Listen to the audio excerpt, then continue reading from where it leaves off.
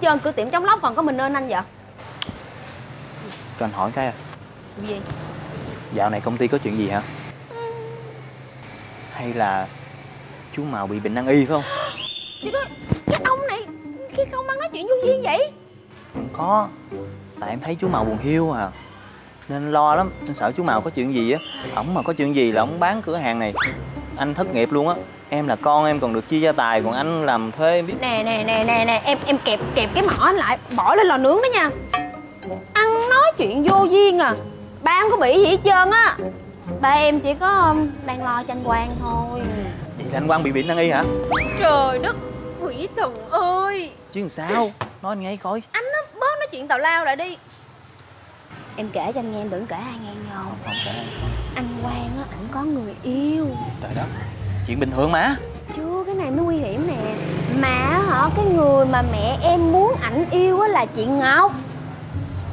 À. đó ngang trái chưa? Mà cái người ảnh muốn yêu lại không phải là cái người mà mẹ em muốn ảnh yêu là chị ngọc mà cái người ảnh muốn yêu là chị hà mà cái người đó thì mẹ em lại không muốn ảnh yêu. Đó nên bây giờ ba em đứng ở giữa ba em không biết phải làm sao luôn. Công nhận ngang trái thiệt á. Giờ mà lấy chị ngọc cũng không ổn. Chính xác. Mà lấy chị hà cũng không được. Chính xác. Mà anh thấy cũng dễ mà. Lấy đại hai đứa đi. Cái ông này ăn nói chuyện thì riết tầm lao dễ sợ không có câu nào nghiêm túc hết á. Dễ gì mà dễ. Anh làm như anh không hiểu tính mẹ em vậy á. Mẹ em là một cái người coi trọng môn đăng hộ đối nhất ở trên cái thế giới này luôn á. Mẹ sẽ không bao giờ cho phép anh quan yêu chị hà đâu. Đúng rồi giàu với nghèo sao tới được với nhau? Mà nhà em giàu quá mà. Bởi giàu cũng khổ nữa chứ. Anh phát Ờ. làm gì đứng như trời trồng vậy? Ờ không có gì. Ủa? Anh anh chuẩn bị đi đâu vậy? À anh đi cho bánh mì thôi. Để em đi chơi. Để em đi cho. Thôi để em đi cho. Lúc nào đi giao hàng với con phát cũng dành đi á. Tống ba đi đi cho con ăn bắt chơi. Anh. À. Linh ơi Chị bận á thì chị cứ đây canh tiệm đi Để em đi được rồi không sao đâu. À thôi đi. Mấy chuyện à, trong tiệm á thì để người trong tiệm làm Chứ người ngoài không làm được đâu. Không phiền không phiền ha. Nhưng mà À, thôi. Đến đi với Tinh được rồi. Em ở tiệm chơi đi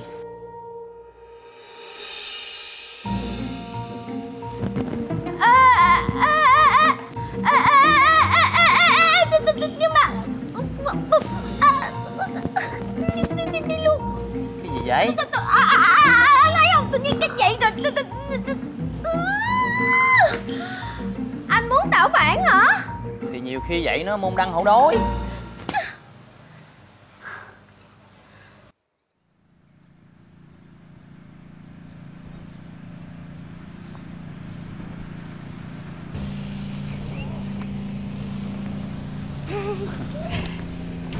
Cảm Mua ơn cà phê cho anh nè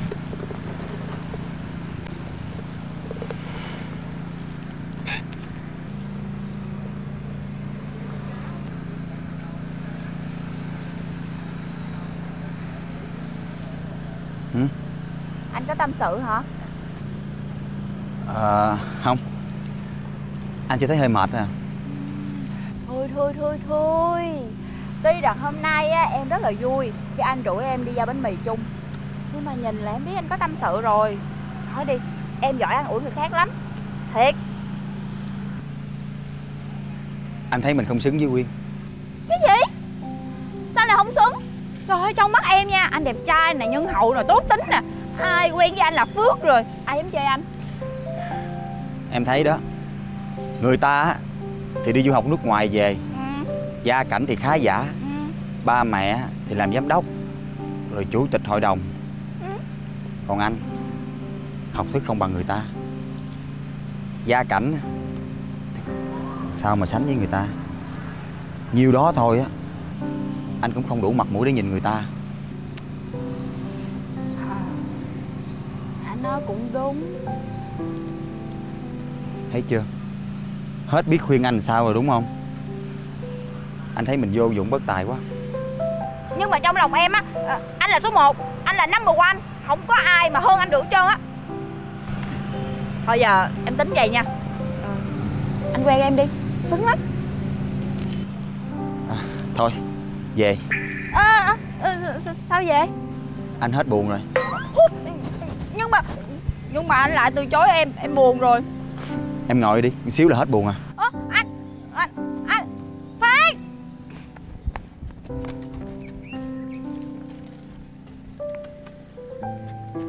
Đi về. Tự đội luôn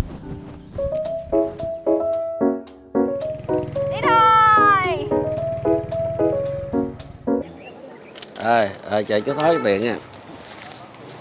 Rồi. Ờ, cảm ơn nha con.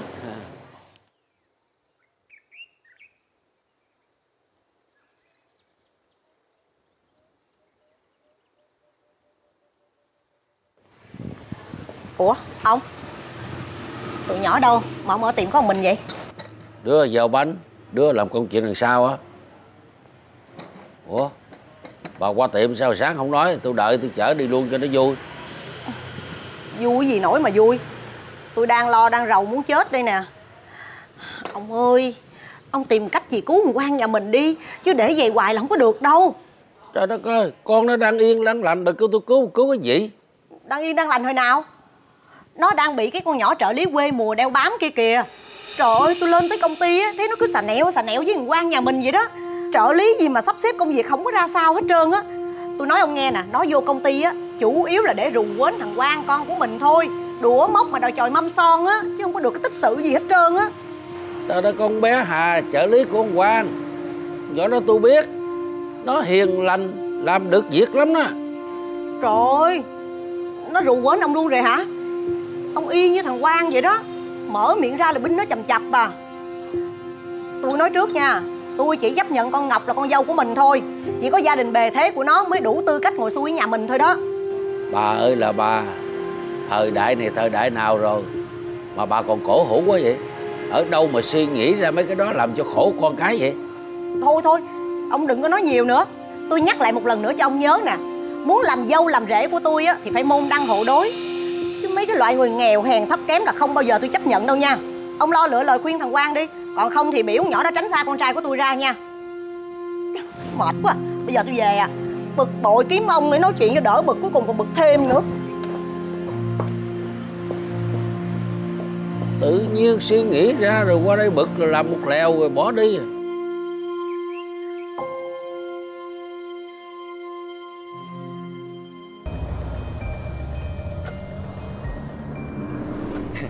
Bánh mì của anh nè Cảm ơn anh nha. Thấy ngon ủng hộ em tiếp nha Rồi, Cảm ơn. Em cần nói chuyện thẳng thắn và rõ ràng với anh.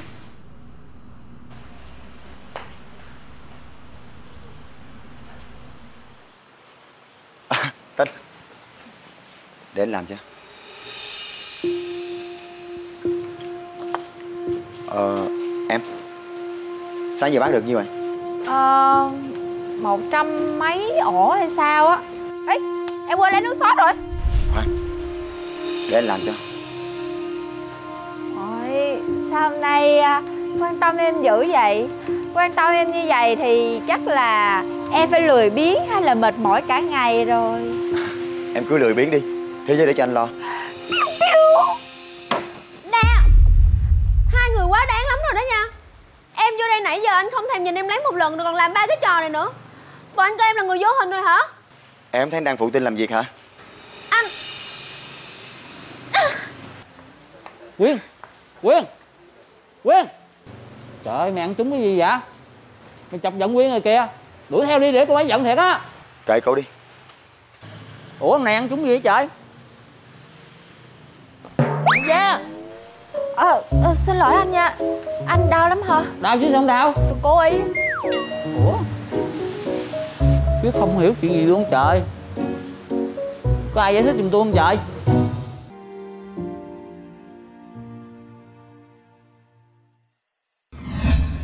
Anh Phát. À, Tinh Để anh phụ em cho. Nữa hả? Anh đứng lại. Anh làm như vậy á là có ý gì hả? Bộ anh Anh Anh hết điều em rồi hả? Quyên Ở đây là ở tiệm Chỗ mà Quyên làm việc đó. Đừng có làm loạn có được không? Cái gì? Anh nói em làm loạn á hả? Được. Nếu như mà anh thấy á Em làm loạn Em phiền phức quá Em rắc rối quá Thì chia tay đi. Tụi mình chia tay chia tay đi. Ừ. Cứ quyết định vậy đi. Theo ý em mà làm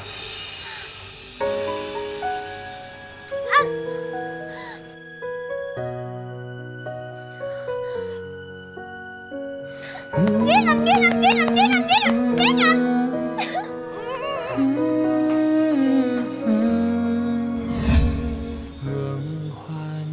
Cái đồ xấu xa, Cái đồ đáng ghét, Đúng là cái đồ xà men. Tại sao hả? Tôi vừa mới nói chia tay là anh gật đầu liền vậy.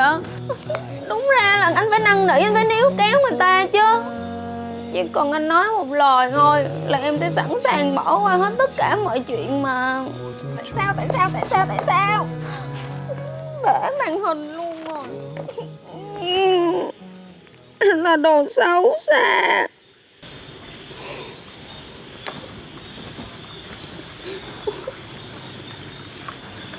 Quyên Làm gì mà mặt mày ủ rũ ngồi một đống vậy? Bình thường á, em vừa về tới nhà thôi á. Là cười nói liên thiên không ngớt miệng luôn rồi. Bữa nay bị gì vậy? Chị không biết hả? Tôi là qua như đám đông Nhưng khi một mình thì lại không. Cố tỏ ra là mình ổn nhưng sâu bên trong nước mắt là biển rộng? Những ngờ miệng hay tôi cười Thật ra là chị để giấu một nỗi buồn sâu Thẳm ở trong tâm hồn. Nè Cô út của tôi hôm nay có tâm sự gì đúng không? Nói cho chị hai nghe đi Biết đâu á chị hai sẽ giải tỏa hết được Những cái ấm ức hay là những cái gì em đang suy nghĩ ở trong lòng nè. Ờ ha Đúng rồi, chị hai của mình là một người rất là tâm lý. Em kể chị nghe chuyện này, chị giải thích giúp em nha. Ờm, Em có một con nhỏ bạn á Nó vừa xinh đẹp, vừa nhà giàu, vừa học giỏi, vừa thông minh, đáng yêu. Nó có quen một anh bán bánh mì. Hai người đang rất là hạnh phúc mặn nồng với nhau. Cái tự dưng à, cái anh bán bánh mì anh dở trò Anh thay đổi 180 độ luôn. Anh tỏ một cái gương mặt lạnh như băng. Đã vậy á hả còn cố tình thân thiết với cái người con gái mà thích ảnh trước mặt cái con nhỏ bạn của em nữa chị coi có tức không chứ? Tức lắm đúng không? Ừ. Rồi cuối cùng Cái cô bạn đó của em đó Bực mình quá. Biết kêu anh chàng đó ra Nói cho rõ ràng mọi chuyện Xong rồi đòi chia tay luôn Đúng không? Trúng phóc thôi chị ơi chị hay quá chị như thầy bói vậy gì chị cũng biết hết đó mà tức một điều á hả là anh phát á hả anh gật đầu ngay khi em vừa mới nói lời chia tay luôn á chị coi tức không? Đáng lý ra là anh phải năn nỉ anh phải níu kéo anh anh phải xin lỗi em chứ cái đằng nào mà lại gật đầu liền một cái rụp như vậy. Để rồi coi em á hay là anh phải là người phải hối hận. Em tức quá mà. Em gái chị tức lắm đúng không Bây giờ trong lòng vẫn còn ấm ức lắm đúng không? Em tức cho con bạn em quá mà. Ừ, em hay bị liệu cái chuyện của người ta á nên Đừng có chống chế nữa. Em mở miệng ra nói câu đầu tiên là chị đã biết cô bạn đó là em rồi chứ không có con bạn nào ở trong đây hết á. Có người yêu rồi đúng không?